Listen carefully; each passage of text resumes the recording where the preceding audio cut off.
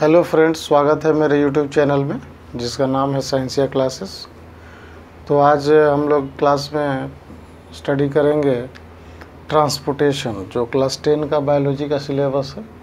तो हम लोग आज स्टार्ट करेंगे ट्रांसपोर्टेशन ठीक है? तो ये ट्रांसपोर्टेशन होता क्या है? सबसे पहले हम लोग ये जानें कि ट्रांसपोर्टेशन होता क्या है। तो ट्रांसपोर्टेशन को हम लोग दूसरे वर्ड में सर्कुलेशन ऑफ़ मटेरियल भी कह सकते हैं। है ना? It is also known as circulation of materials और in the other words transportation of materials okay then we can write the definition. It is the movement of it is the movement of different substances. It is the movement of different substances from one organ from one organ to another organ okay. This process is known as this process is known as transportation transportation or circulation of materials or circulation of materials.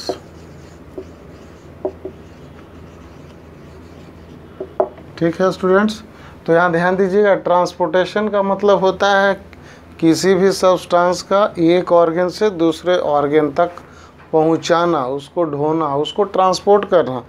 Hindi में बोलते हैं परिवहन करना। तो transportation एक ऐसा process है जिसमें आप डिफरेंट काइंड ऑफ़ मटेरियल्स को आप एक जगह से दूसरे जगह पहुंचाते हो पूरे होल बॉडी में from head to leg of the body आपको पूरे बॉडी पार्ट्स में अलग अलग चीज़ों को पहुंचाना है। तो इसके लिए हमारे बॉडी में एक ख़ास तरह का सिस्टम वेल डेवलप है जो इन मटेरियल्स को ट्रांसपोर्ट करने का काम करता है। लेकिन ये जो वर्ड है actually this is the function this is the process okay this process is done by circulatory system which is present in our body तो ये लाइफ प्रोसेस है। Transportation means what it is a important life process it is the important life process it is also known as circulation of materials. And it is very very essential for our survival. Without transportation or without circulation of different kind of materials it is not possible to survive on this earth. So it is the movement of substance. It is the movement of different substances from one organ to another organ. This process is known as transportation or circulation of materials and this process is done with the help of our circulatory system which is also known as cardiovascular system okay तो students इस definition को आप note कर लीजिए transportation what is transportation right down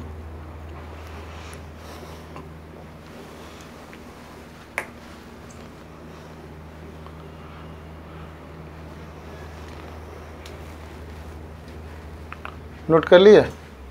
तो next हम लोग जानेंगे कि सर्कुलेशन जो है, वो कितने टाइप का होता है। Okay how many types of circulation और how many types of transportation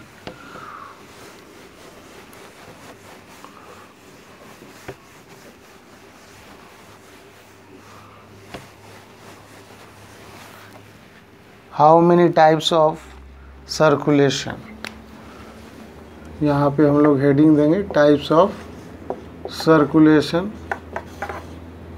ठीक है? आप ऐसा मत समझें कि सर्कुलेशन और ट्रांसपोर्टेशन दोनों कोई अलग अलग चीज़ है। बिल्कुल एक ही चीज़ है ट्रांसपोर्टेशन मीन्स एक जगह से दूसरी जगह पहुंचाना। सर्कुलेशन मीन्स किसी भी मटेरियल को एक जगह से दूसरे जगह सर्कुलेट करना। तो टाइप ऑफ़ सर्कुलेशन क्या होगा? There are two types of circulation first one is intracellular circulation first one is intracellular circulation इसमें क्या होगा जी? इंट्रासेलुलर सर्कुलेशन नाम से ही स्पष्ट है। बिल्कुल क्लियर है। The name explain yourself है ना? तो ये इंट्रा है। Intra means inside the cell. यानी इसमें क्या होगा? जितने भी डिफरेंट सब्सटेंस हैं, जितने भी डिफरेंट मटेरियल्स हैं, वो क्या होगा? सेल के अंदर सर्कुलेट करेगा। है ना? सेल के अंदर क्या होगा? सर्कुलेट करेगा। तो इसको हम लोग नोट कर लेंगे। circulation of material circulation of materials takes place takes place inside the cell inside the cell that is cytoplasm. ये circular that is cytoplasm. तो साइटोप्लाज्म के अंदर अगर इन मटेरियल्स का अगर मूवमेंट होता है सर्कुलेशन होता है तो उसको हम लोग क्या कहेंगे? इंट्रासेलुलर सर्कुलेशन है ना स्टूडेंट्स जैसे आप जानते हो साइक्लोसिस साइक्लोसिस क्या है? कि इम्पोर्टेंट टाइप का मूवमेंट है जो प्रोटोजोवंस में होता है, अमीबा में होता है है ना? पैरामीशियम में होता है।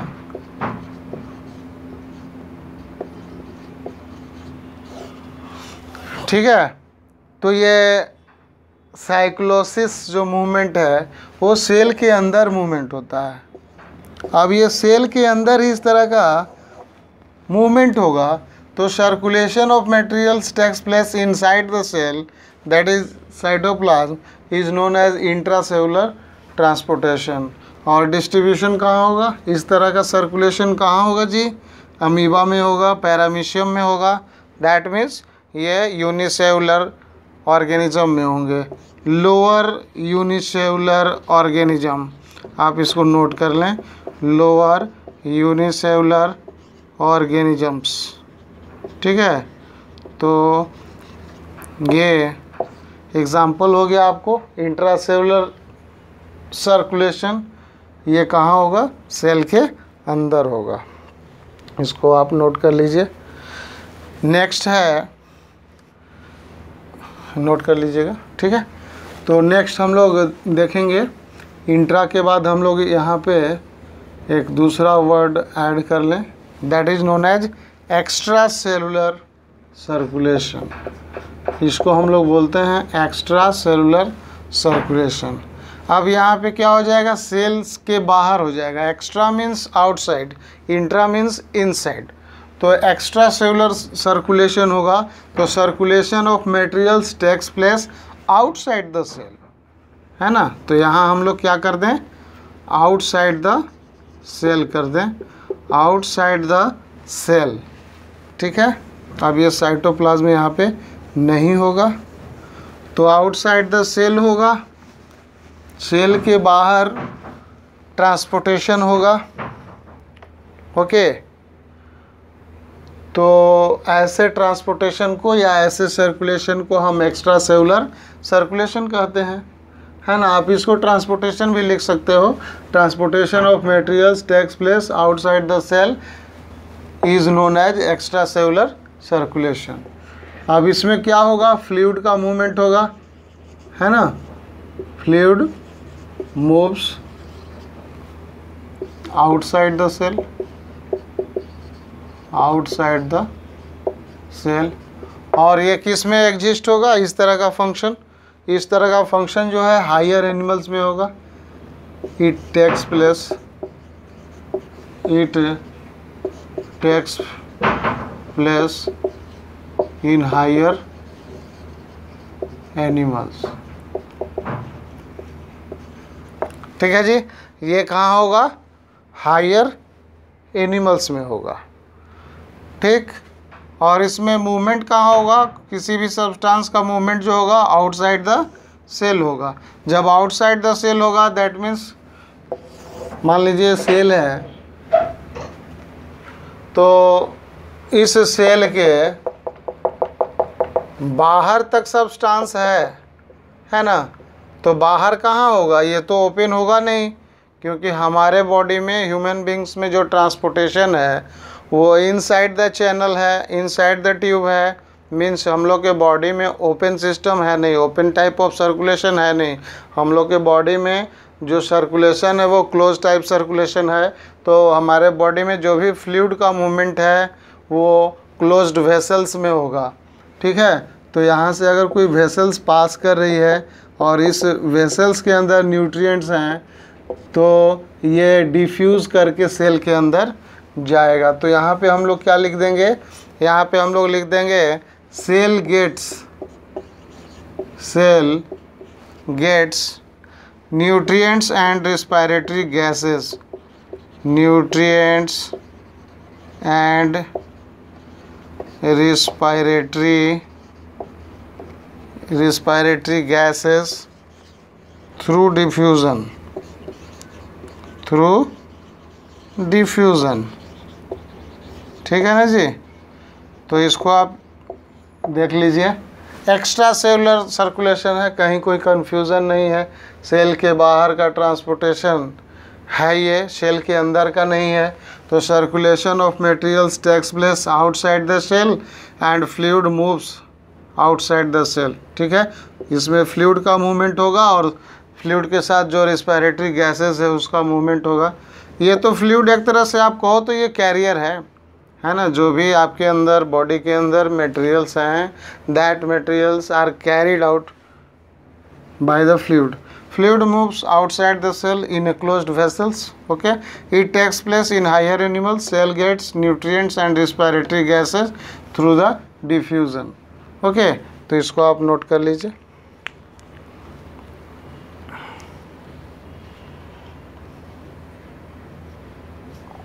लिख लिए तो नेक्स्ट हम लोग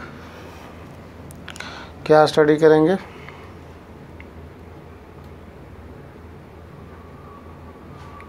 नेक्स्ट हम लोग स्टडी करते हैं सर्कुलेटरी सिस्टम ये टाइप ऑफ़ सर्कुलेशन हम लोग जान गए, है ना जी? तो अब हम लोग के बॉडी में तो सर्कुलेटरी सिस्टम है और ये सर्कुलेटरी सिस्टम जो है काफ़ी वेल डेवलप है. तो सर्कुलेटरी सिस्टम हम यहाँ पे लिख देते हैं सर्कुलेटरी सिस्टम अब सर्कुलेटरी सिस्टम को आजकल हम लोग बोलते हैं, जब आप मेडिकल में जाएँगे, वहाँ पे देखेंगे, वहाँ पे फ़र्स्ट ईयर में आप पढ़िएगा ह्यूमन फिजियोलॉजी वहाँ पे ये कार्डियोवैस्कुलर सिस्टम भी हम लोग कहते हैं। इसको आप कार्डियोवैस्कुलर सिस्टम के नाम से भी जानते हो ओके तो ये हायर क्लास में लेकिन फ़िलहाल टेन में आप सर्कुलेटरी सिस्टम जानो। है वही चीज़ कार्डियोवैस्कुलर जब ये हम लोग यहाँ पे ब्लड वैस्कुलर सिस्टम की बात करेंगे तो होगा। है ना? होता वही है, बल्कि इसको अभी हटा ही तो कोई दिक्कत नहीं है। है ना? ये हाई लेवल का चीज़ है। हाई लेवल का मतलब कि बहुत ज़्यादा ऐसा लेवल नहीं है जो आप समझेंगे नहीं। मतलब ये हम लोग एमबीबीएस और पैरामेडिकल साइंसेस में पढ़ाई जाती है। तो आप सर्कुलेटरी सिस्टम जो है, जानिए। ये दो तरह का होता है है ना? It is of two type एक होता है ओपन टाइप और दूसरा होता है क्लोज्ड टाइप है ना? ओपन टाइप में क्या होगा?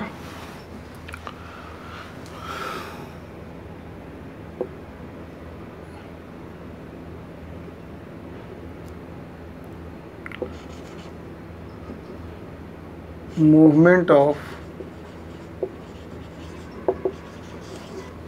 substances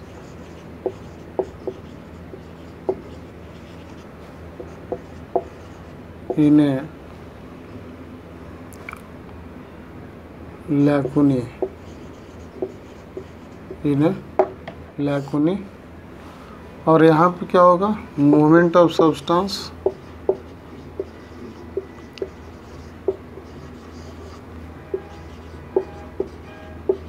movement of substances in a closed vessels. In a closed vessels.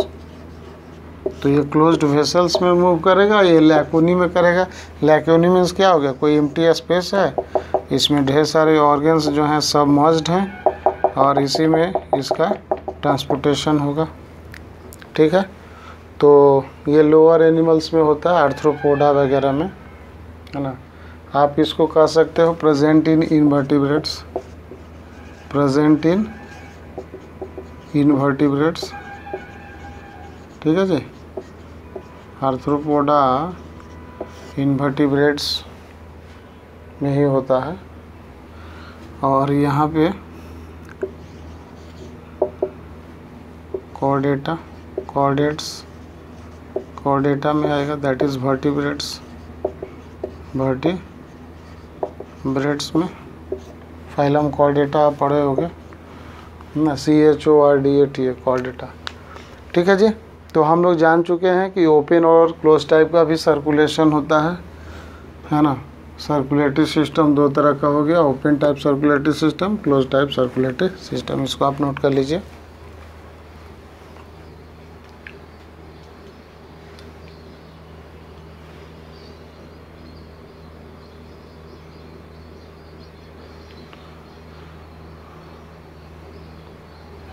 Note कर लिए?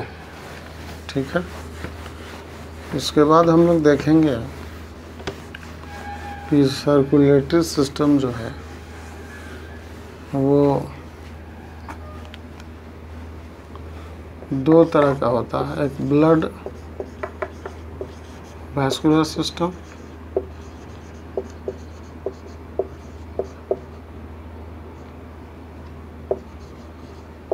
और दूसरा क्या हो गया?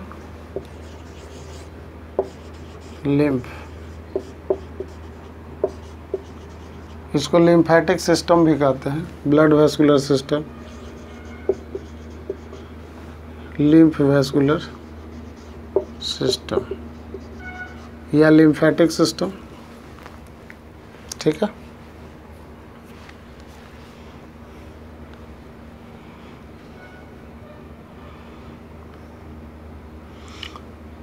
तो हम लोग अभी डिस्कस करेंगे इस पर ब्लड वेस्कुलर सिस्टम पे।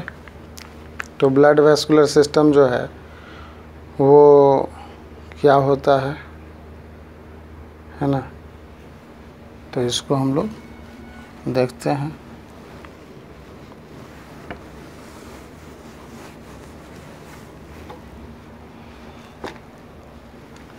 देखिए ब्लड वेस्कुलर सिस्टम बिल्कुल सिंपल है। ये जब भी होगा तो आपको पता है कि ये क्लोज्ड वेसल्स में फ्लो करेगा। तो ब्लड वेस्कुलर सिस्टम में हम लोग थ्री पार्ट्स में इसको स्टडी करेंगे। पहला क्या हो गया? Blood vessels first is blood vessels second part क्या हो गया जी? सेकंड पार्ट ब्लड और थर्ड पार्ट हार्ट है ना? ये थ्री स्ट्रक्चर्स में हम लोग डिवाइड करके स्टडी करेंगे, है ना?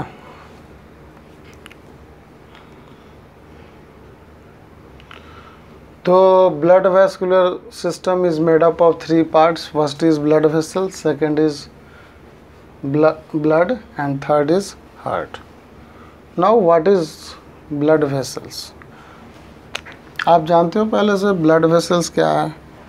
Blood vessels are tube like structure or these are the pipes. Okay तो ये एक तरह से ट्यूब है पाइप है। और इस पाइप में क्या होगा? फ्लूड का मूवमेंट होगा। और वो फ्लूड क्या होगा जी? ब्लड होगा, क्योंकि हम लोग ब्लड वेस्कुलर सिस्टम पढ़ रहे हैं। तो इस ट्यूब में क्या फ्लो करेगा? ब्लड फ्लो करेगा। ठीक है? और यही ब्लड क्या है? आप ब्लड को क्या समझते हो? आप जानते हो ये फ्लूड कनेक्टिव टिश्यू है। इसको हम लोग क्या बोलते हैं? Blood is a fluid connective tissue तो इसको हम लोग टिश्यू में अलग से सेपरेटली पढ़ेंगे। अभी फ़िलहाल आप इतना जानिए कि blood is a fluid connective tissue blood is also known as mobile connective tissue तो ब्लड वेसल्स जो है वो ब्लड को कैरी करता है। और ब्लड क्या है? एक कैरियर है। आप याद रखिएगा ब्लड इज़ ए कैरियर यही एक ऐसा कैरियर है जो हमारे बॉडी में डिफरेंट सब्सटेंस को, चाहे वो यूज़फुल सब्सटेंस हो, चाहे वो हार्मफुल सब्सटेंस हो, ये इन्हीं दोनों प्रोडक्ट को ये क्या करता है? ट्रांसपोर्ट करता है बॉडी में सर्कुलेट करता है। तो ये ब्लड क्या है? Actually it is a carrier and entire body is connected by blood पूरा बॉडी जो है, ये ब्लड से जुड़ा हुआ है, पूरा बॉडी सर से लेकर पाँव तक। इसका मतलब कि पूरे होल बॉडी में ब्लड वेसल्स है और यह ब्लड वेसल्स हमारे बॉडी में क्या करता है? नेटवर्क बनाता है मेश बनाता है। जिसके कारण हमारे बॉडी में ब्लड का जो फ्लो है, हर जगह है बॉडी के हर एक टिश्यू को, हर एक सेल्स को ब्लड चाहिए। तो ब्लड क्या वेसल्स से बाहर कट करके सेल में थोड़ी जाता है? वो वेसल्स के अंदर ही फ्लो करता है, लेकिन जो भी उसमें ब्लड में क्या है न्यूट्रिएंट्स हैं, जो इम्पोर्टेंट गैसेस हैं रिस्पायरेटरी गैसेस हैं, जो मिनरल्स हैं एलिमेंट्स हैं, है ना आयंस हैं, वो जो है ब्लड से डिफ्यूज़ करके सेल में जाता है। तो फर्दर हम लोग देखेंगे कि ब्लड वेसल्स कितने टाइप के होते हैं। आप इसको नोट कर लीजिए इम्पोर्टेंट चीज़ है। है ना? ये थ्री पार्ट में डिफ्रेंशिएट है। ठीक है? अब जो है हम लोग ब्लड वेसल्स जानेंगे कि होता क्या है ब्लड वेसल्स है ना? क्या होता है ब्लड वेसल्स कुछ मालूम है आप लोग को? ब्लड वेसल्स देखिए।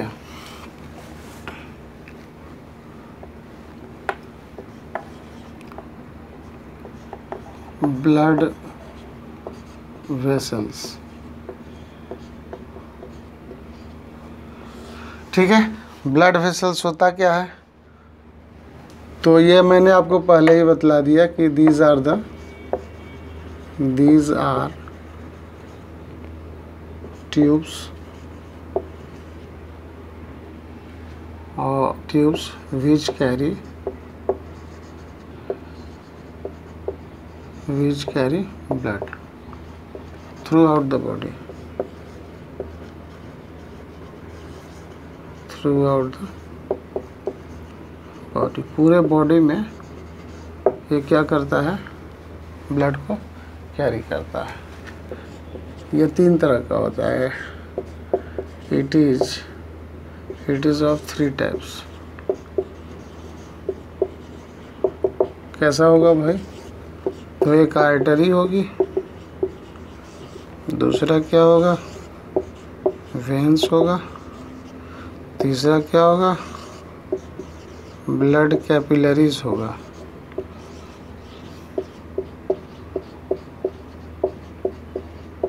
ठीक है? तो artery veins and blood capillaries ये थ्री इंपॉर्टेंट पार्ट्स है। किसके? ब्लड वेसल्स के। ओके आर्टरी वेंस और ब्लड वेसल्स अब हम लोग एक एक करके स्टडी करेंगे कि भाई आर्टरी क्या चीज़ है? ये कौन सा ब्लड वेसल्स है आर्टरी वेंस क्या चीज़ है? है ना? ब्लड कैपिलरीज क्या है? इसको हम लोग देखेंगे। तब तक आप इसको नोट कर लीजिए।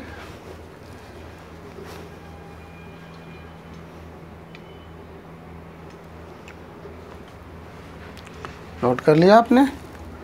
अब हम लोग स्टडी करेंगे कि आर्टरी और वेन्स क्या है और ब्लड कैपिलरीज इन तीनों का क्या रिलेशन है आपस में? तो पहले हम लोग आर्टरी और वेन्स देख लें। है ना? ये जानना ज़रूरी है। क्लास टेन के स्टैंडर्ड के लिए। एलेवन में तो आपको फिर डिटेल पढ़ना है ना। तो हम लोग क्या करेंगे? डिफरेंस करके पढ़ लेंगे। क्योंकि एलेवन में आप डिटेल पढ़ोगे। देखो भाई आर्टरी में क्या पहला डिफरेंस होगा? आर्टरी करती क्या है? इसमें आप नोट कर लो। Takes blood takes blood away from the क्या होगा? Takes blood away from the heart artery क्या करती है भाई? ये हार्ट से ब्लड को दूर ले जाती है। ठीक? दूसरा आप लिख लो। वेंस में bring blood into heart bring blood into heart ठीक है जी? ये क्या वेंस क्या करती हैं? हार्ट में ब्लड को लाने का काम करती हैं। यानी बॉडी में, और सुपरफिशियल पार्ट अपर पार्ट और लोअर पार्ट से जो ये डीऑक्सीजनेटेड ब्लड है दैट इज़ इम्प्योर ब्लड वो वेंस कैरी करती है और वो हार्ट की ओर लाने का काम करती है। और यहाँ पे क्या होता है कि हार्ट से आर्टरीज निकलती हैं। हार्ट से आर्टरीज निकलती हैं और हार्ट जो है उस ब्लड को दूर ले जाता है। पूरे बॉडी पार्ट में डिफ्रेंशिएट डिस्ट्रीब्यूट कर देता है। तो यहाँ पे पहला इसका पार्ट हो गया फ़र्स्ट फ़ंक्शन कहिए आप इसको takes blood away from the heart okay दूसरी बात लिखिए। क्या लिखेंगे आप? Carry oxygenated blood. Carry oxygenated blood. इसका एक्सेप्शन भी है। क्या एक्सेप्शन है? तो पल्मोनरी आर्टरी। पल्मोनरी आर्टरी इसका एक्सेप्शन है। ध्यान दीजिएगा, इसी को प्योर ब्लड कहते हैं। आप बार बार प्योर सुनिएगा। मतलब हमसे या कहीं भी पढ़िएगा तो कहीं प्योर लिखा होगा तो आप कंफ्यूज मत हो जाइएगा। Carry oxygenated blood except pulmonary artery दूसरा क्या है जी? वेंस क्या करेगा? Carry deoxygenated blood deoxygenated blood और इसका एक्सेप्शन क्या होगा?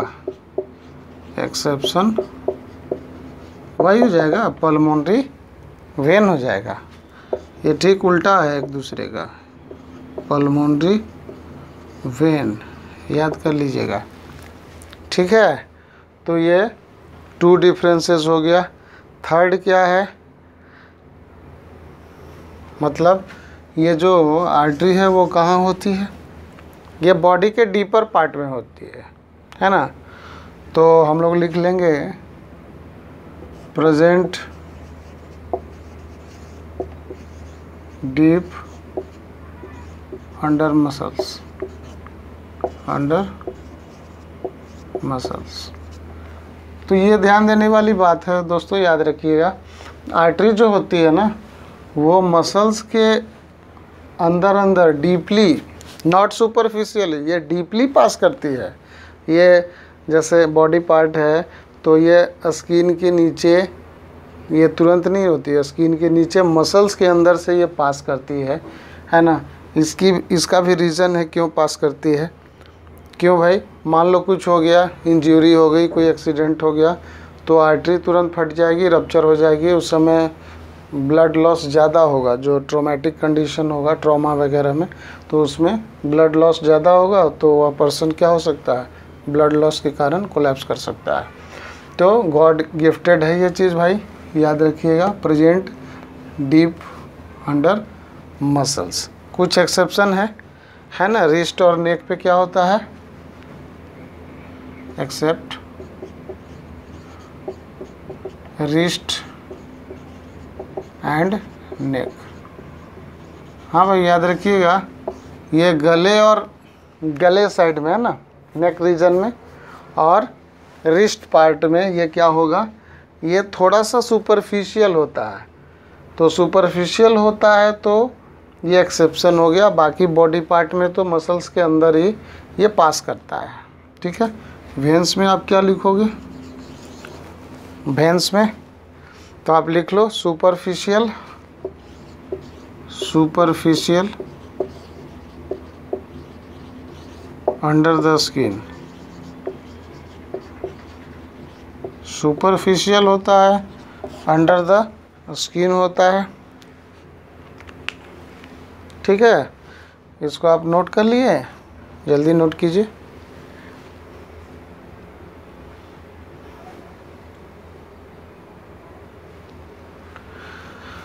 हाँ तो फिर हम लोग नेक्स्ट और अगला पॉइंट लिखें कि और क्या डिफरेंसेस है है ना? बॉडी में ये आर्टरी और वेंस क्या करती हैं भाई? ब्लड कैरी करती हैं और ब्लड के साथ साथ ये बहुत कुछ कैरी करती हैं। और आर्टरी और वेंस का फ़ंक्शन भी हो गया। इनका ये क्या क्या करती हैं बॉडी में? तो ये थ्री के बाद फोर्थ हो गया जी। आर्टरी करती क्या है? आर्टरी क्या करती है? तो ये प्योर ब्लड कैरी करती है ऑक्सीजनेटेड ब्लड कैरी करती है। तो इसमें वाल्व होता है कि नहीं आर्टरी में? It has no valve it has no valve और इसमें क्या लिखेंगे? इट हैज़ फोर्थ में it has valves. It has valve.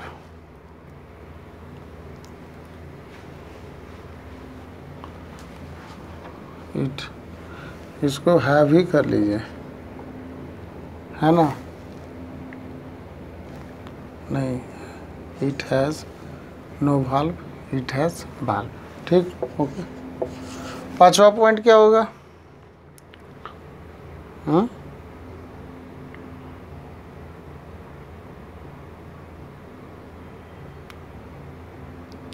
Lumen इसका कैसा होगा? नैरो होगा। ल्यूमिन कैसा होगा जी? नैरो होता है। है ना? न्यूरो ल्यूमिन कैसा होगा? नैरो होगा। और वेंस में क्या होगा ल्यूमिन? यहाँ ल्यूमिन कैसा होगा जी? वाइडर होगा। काफ़ी वाइड होता है ल्यूमेन अंदर का जो खोखला जगह है एम्प्टी जिससे कि पास करेगा। और इसका वाल कैसा होगा? आर्टरी का थीकर वाल होगा। और यहाँ क्या होगा? थीनर वाल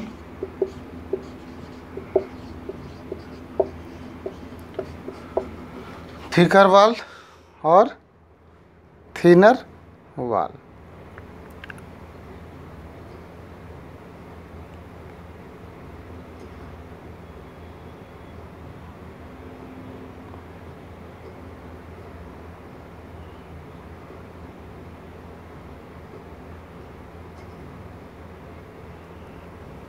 ठीक है? और क्या होगा?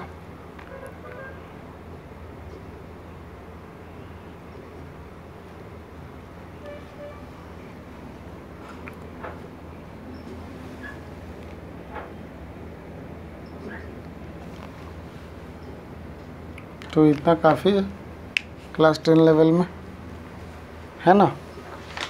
क्लास टेन लेवल में इतना काफ़ी है। ठीक है? तो आप इसको नोट कर लीजिए।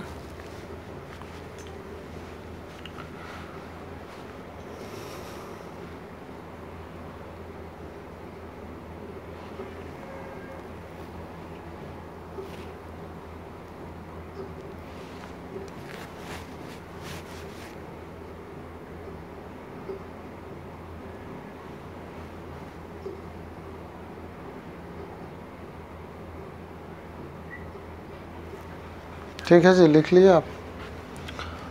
तो आर्टरी और वेन में डिफरेंस हम लोगों ने जान लिया कि ये होता क्या है।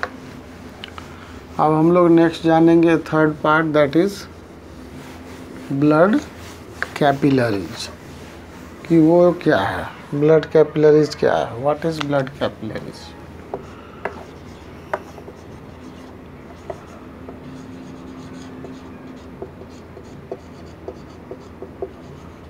आप इतना जानिए कि आर्टरी जो है, वो बिल्कुल थीन ब्रांच में डिफ्रेंशिएट कर जाएगी।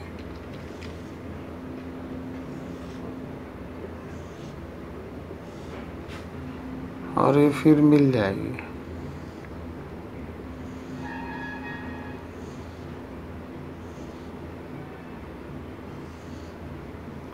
और मिल करके ये क्या है भाई? दिस इज़ आर्टरी थिकर वाल हो गया। है ना?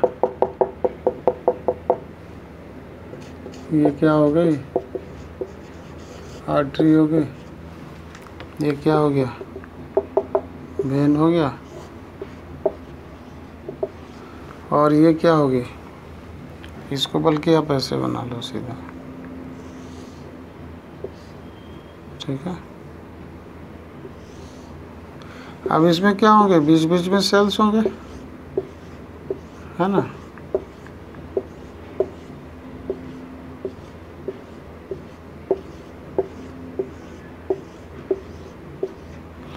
ठीक है? तो जब ब्लड आएगा, ये सारा का सारा क्लोज्ड वेसल्स है ओके कहीं लीकेज नहीं है, ये आप मत मान बैठो कि कहीं लीकेज है। सब यहाँ पे जाके जुड़ रहा है। अब बताओ ब्लड जो है इससे पास करेगा तो ये इसमें डिफ्यूज़ होगा?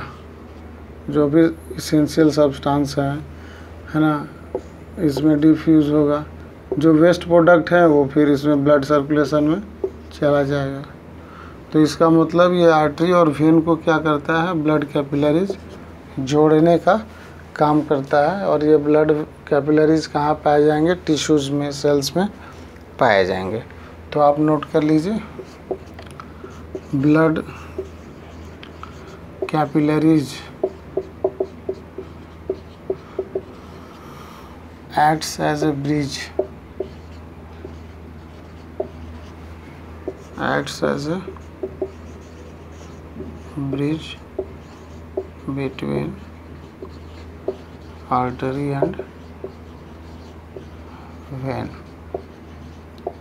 ठीक है जी, ये आर्टरी और वेन का ब्रिज है। और ये कहाँ पाया जाएगा? It is present in it is present in tissues.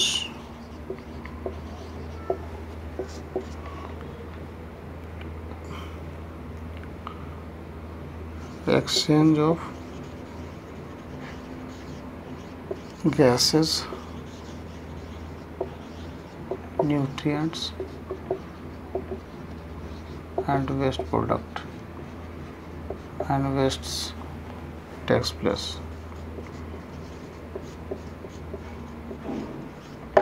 ठीक है आप इसको नोट कर लो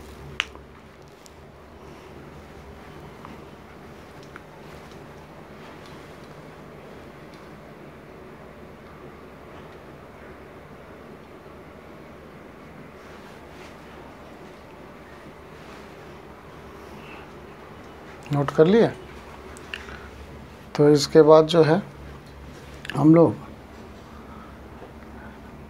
नेक्स्ट क्लास में स्टडी करेंगे कि ब्लड क्या होता है। क्योंकि हम लोगों ने ब्लड वेसल्स स्टडी कर लिया ब्लड वेसल्स में हम लोगों ने आर्टरी वेंस और ब्लड क्लब कैपिलरीज की बात की। इसके बाद हम लोग नेक्स्ट क्लास में पढ़ेंगे ब्लड ठीक है?